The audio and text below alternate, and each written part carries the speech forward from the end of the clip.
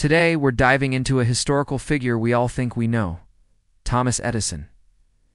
Edison was indeed a powerhouse.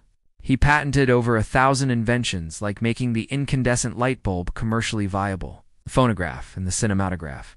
He truly reshaped how we live. But here's the twist. Beyond the lab, Edison was an aggressive capitalist.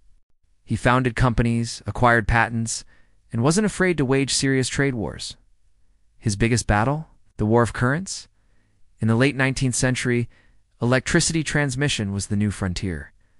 Edison championed direct current, which he had heavily invested in. But then came Nikola Tesla, backed by George Westinghouse, pushing alternating current. Alternating current was far more efficient for long-distance power transmission and also much stronger, capable of producing more energy. Edison's direct current, on the other hand, was less practical and worked better only for small-scale uses such as batteries. Fearing his empire was at stake, Edison launched an absolutely shocking smear campaign against alternating current. To convince the public that Tesla's current was dangerous, he actually funded public demonstrations where animals, dogs, cats, and famously, an elephant named Topsy in 1903, were electrocuted with alternating current. These horrifying events were filmed and used as propaganda to associate the new current with death and danger. Can you imagine?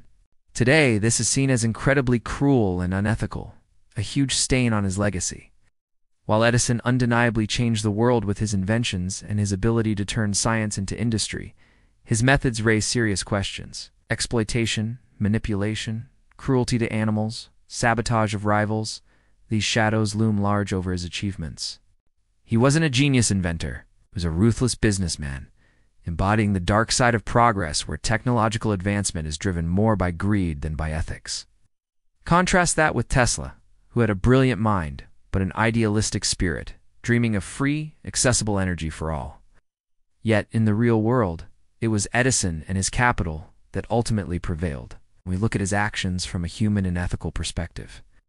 The cruelty and opportunism he displayed truly cast a long shadow over the good.